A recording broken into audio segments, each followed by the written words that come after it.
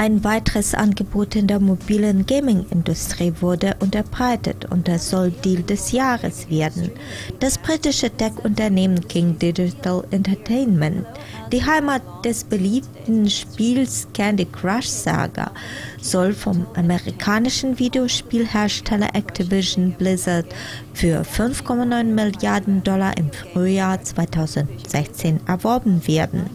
Diese Übernahme wird Activision Blizzard 500 Millionen aktive Nutzer in 200 Ländern geben und ihr geistiges Eigentum vermehren, einschließlich Spiele wie Call of Duty, World of Warcraft und Guitar Heroes. Activision-Chef Bobby Kotick sagte, abgesehen von YouTube und Facebook gibt es kein weiteres weltweites Netzwerk, das eine höhere Zuschauerzahl hätte. Ein großer Teil der Gelegenheit Gelegenheit ist, das geistige Eigentum von Activision Blizzard zu erkunden und zu sehen, ob es in diesem Netzwerk Sinn macht.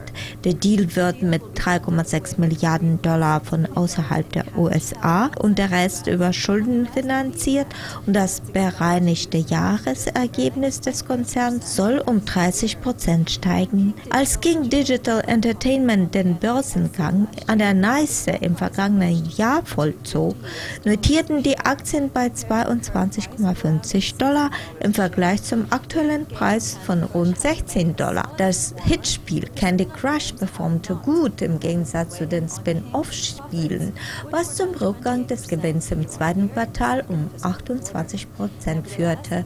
Dennoch glaubt Herr Kotik in das langfristige Potenzial. King Digital habe einen großen Franchise-Fokus sowie die Möglichkeit, neue Franchisen zu erfinden.